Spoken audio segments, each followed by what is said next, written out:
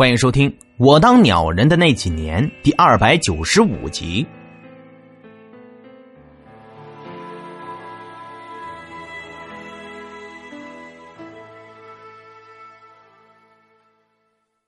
就在张世飞抬头要走的时候，那四名燕帅也追了过来。只见那白无常挥舞着哭丧棒，照着张世飞的头就砸了下来。张世飞随手挥刀一挡，强大的力量下，竟将那谢必安弹飞了出去。好在那范无咎及时赶到接住了他。谢必安只感觉到自己浑身就像要散架了一样啊！真没想到，这小子的力量竟然这么大。那是自然了，就连张世飞自己也发现了，这酒的威力确实惊人呐！而且时间越久，后劲儿就越大。张世飞此时浑身仿佛有使不完的气力。只见他拿着南飞宝刀，满脸冷笑的望着这四位地府顶尖的高手。谢必安挣扎着站了起来。不得不说，此时的他望着张世飞的眼神之中，已经流露出了一丝恐惧。能拥有这么强的力量，那他一定不是什么泛泛之辈。谢必安想到这儿，便对着张世飞颤声说道：“你，你究竟是谁？我是谁？我有病啊！为啥要告诉你？”张世飞心想，他冷笑了一下，他刚想回答无可奉告，可是也不知道怎么的，忽然就想起来来这里之前所遇到的那个玉面什么龙。张世飞一想起这个家伙之前在三生石给他的故事中也有这个家伙的故事，张世飞现在已经知道那个什么龙没有死了，于是心中顿时想出了一个损招。只见张世飞对着谢必安朗声说道：“在下小银龙。”小银龙，听张世飞说出了此话之后，谢必安、范无咎、牛阿棒、马明罗四名阴帅全都愣住了。在他们的记忆之中，似乎也没有一个叫小银龙的神仙呢。这小银龙到底是从哪儿冒出来的呢？要说他们之中，还真就属吊死鬼谢必安想的最多。他心想：看来这个小银龙应该不是神仙。如果不是神仙的话，那一定就是快要修成正果的修道之人。于是谢必安便又对着张世飞大声说道：“小银龙，我问你，你的道号是什么？”张世飞一听就笑了：“嘿嘿嘿，这可是你们自己找骂的啊！”想到这儿，张世飞便将南飞宝刀转向左手，空出了右手，凌空一甩，握紧了拳头后向上一翻，然后。将一根中指竖起，怒指着那四名奸帅，然后他十分嚣张的冷笑道：“我靠！我我靠！这小子的道号怎么如此古怪呀？”不过，即便是这样，谢必安也将这句话牢牢的记在心中。只要有道号，那就好办了，一定能够查出他到底是什么人。不过，见这小银龙对着他们竖起了中指。要知道，这手势在古代，那可就是代表着放马过来的意思啊！该死，这可怎么办呢？见这小银龙的气势越来越强，四名阴帅全都慌了神了。他们站在原地，就连那不要命的范无咎也不敢轻易的上前挑衅，只是不停的哆嗦着，一边哆嗦，嘴里还一边念叨着：“ 必须死，必须死，必必必必须死。”不可否认呐。这个名字叫做小银龙，道号为我靠的家伙，当真让他们感觉到了恐惧。他们怕了，恐惧让人变得懦弱，让鬼变得彷徨。而他们此时并不知道，张世飞此时已经没有了要再跟他们斗下去的念头。他转头看了看那条路的尽头，还燃着一丝灯火。张世飞明白，那是他回家的光芒。李兰英现在在干什么呢？难道还是在山洞里面等着我吗？他想错了，李来英此时并不是在山洞之中，而是在山洞之外。我们把镜头拉回到那荒山之上，只见此时的李来英背对着洞口，抬头望着上空，表情满是凝重。只见那天空之上，竟然盘旋着一条白色的怪蟒。这条怪蟒。大概得有四五十米，头顶上竟然长了两根好像是刺一般的独角。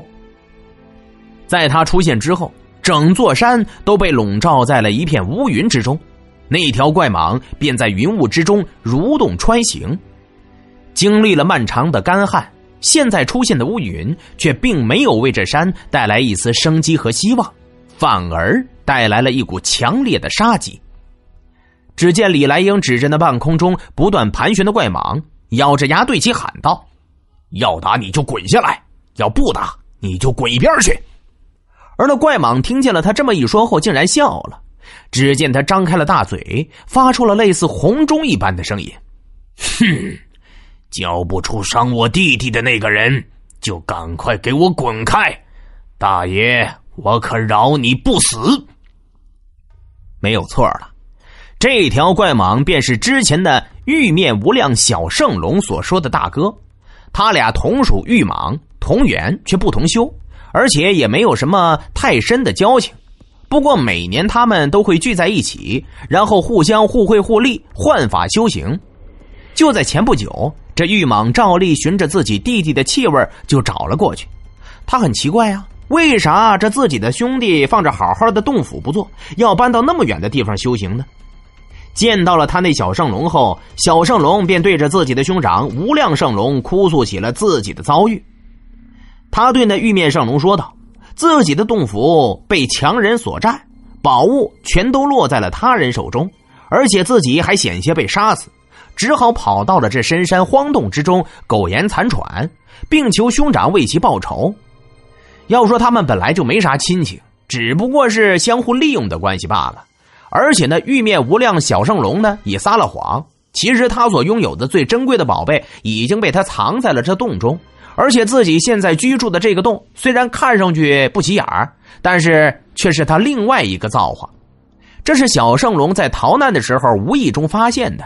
这个山洞之中竟然别有洞天，而且他惊喜的发现，这里竟然是东北龙脉的肺部。当然了。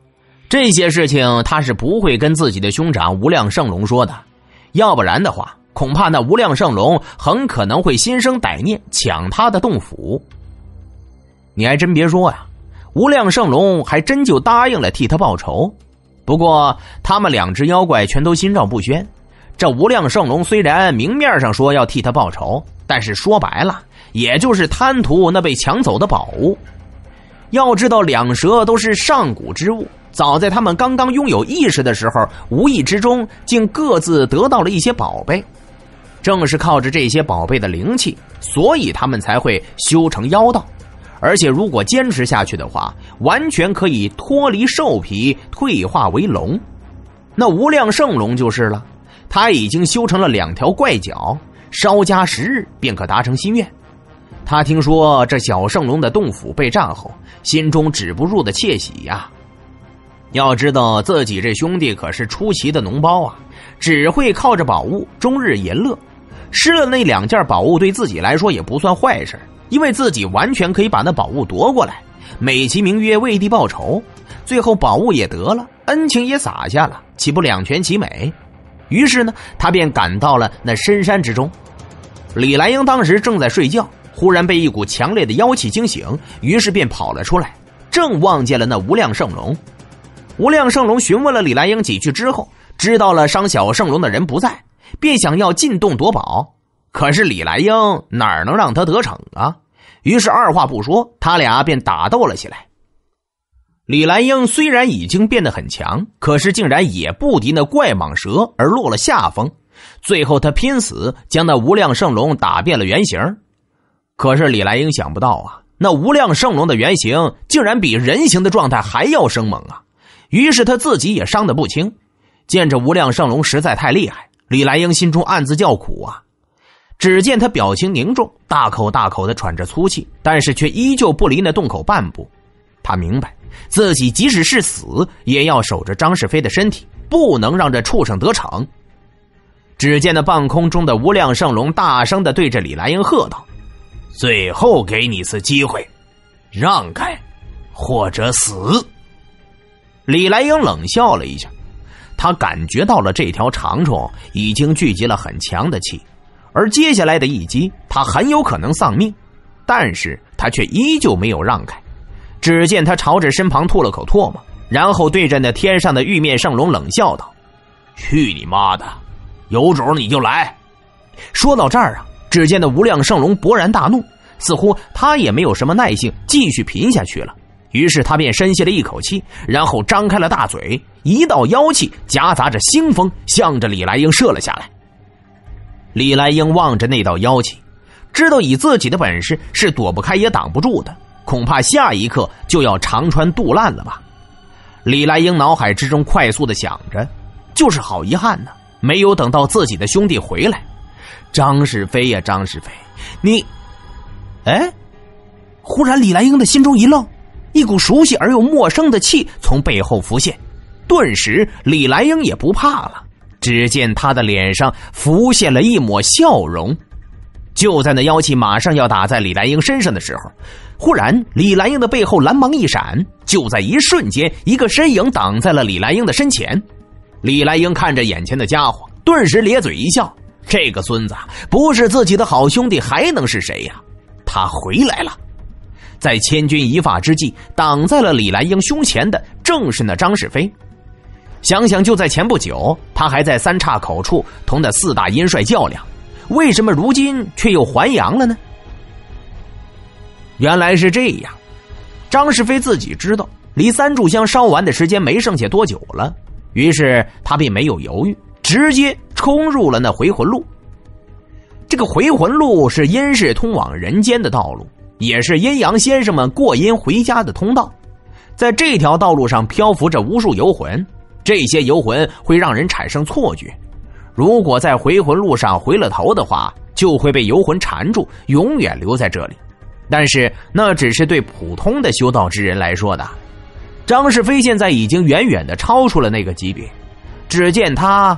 刚一进回魂路，就望见了前面一片雾气，这让他很是恼怒啊！于是便横着一刀，这一刀下去不要紧，愣是劈死了上千的游魂，而剩下的那些游魂全都跟见了煞星一般四处逃命去了，哪儿还有什么闲心去搞什么鬼幻觉呀？而那四大阴帅见到这小圣龙竟然逃跑了，便犹豫了起来，到底是追还是不追呀？最后还是谢必安拿定了主意，追吧，反正追也是死。可是不追的话，很有可能生不如死。一想到这儿啊，那四个家伙便硬着头皮追了上去。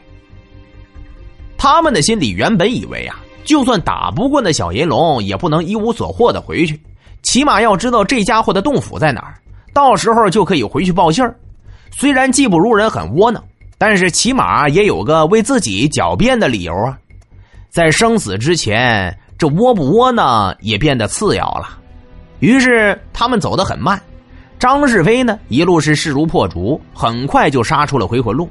他只感觉到眼前一亮，就看到了自己的身体。于是他慌忙钻进了自己的身体。